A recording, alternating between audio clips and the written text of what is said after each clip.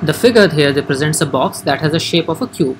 A cube has all the sides equal and in case of a cube, we can say that PR is equal to side square root 2 while QT which is the longest diagonal is equal to side square root of 3. Now where A is equal to side of the cube, any side, all the sides are equal in case of a cube. What is the volume of the box? Now the volume of the box of a cube is given by side cube, we need to find it out. Let's check the first statement.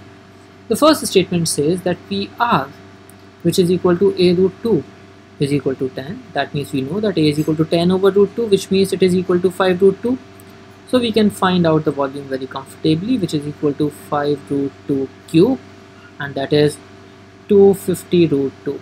So the first statement alone is sufficient to answer the question. Now we are left with two choices only option A and option D.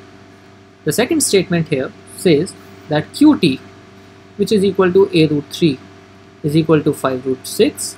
Now we simplify this once again so a root 3 is equal to 5 times of root 2 multiplied by root 3 because root 6 can be broken down into root 2 into root 3. So we get a is equal to 5 root 2. That means the volume which is equal to a cube is equal to 25 root 2 and therefore the second statement alone as well is sufficient and the final answer to the question becomes option D. That is each statement alone is sufficient to answer the question. Thank you so much.